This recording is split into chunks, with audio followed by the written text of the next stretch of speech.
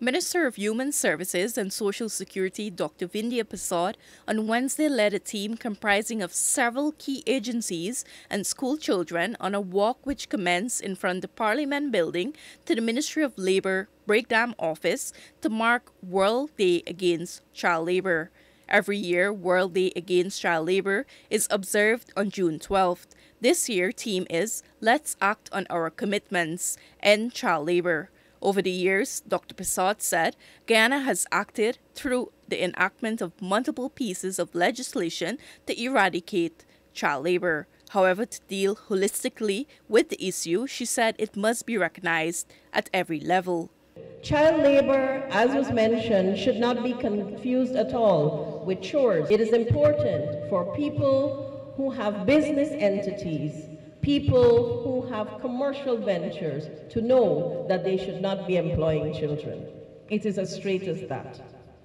They should not be employing children and they should not be exploiting children, nor should children be involved in excessive or hard work. We need to ensure that we have a robust reporting system so that people, wherever they are across the country, they can have the opportunity to not only highlight or see child labor where it is, but to report it so that condign action can be taken.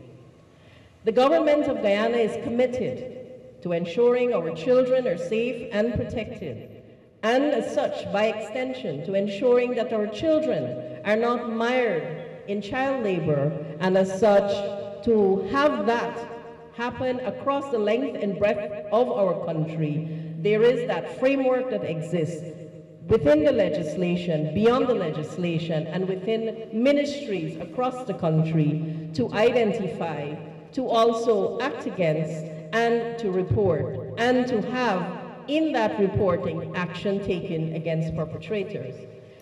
Guyana has ratified key international labor organization conventions that guard against child labor and has developed a national plan of action geared at eliminating the scourge completely by the year 2025. This is in keeping with the International Labor Organization ILO and United Nations Children Fund UNICEF push to end child labor. Child labor is a crime why rob children of an education and a good future? The elimination of child labor in all its forms is imperative and certainly a top priority for the Ministry of Labor and, of course, the government.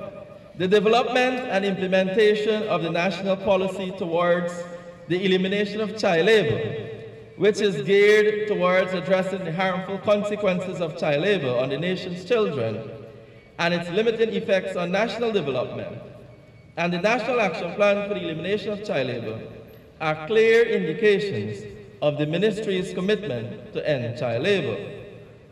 Our legislative framework is adequate. The abolition of child labor and providing opportunities for education is essential for developing the country. Throughout this year, to raise awareness on the issues and the effects children can experience from child labor, the Ministry of Labor will be hosting a series of activities, including visits to schools. Reporting for the newsroom, Sharda Bacchus.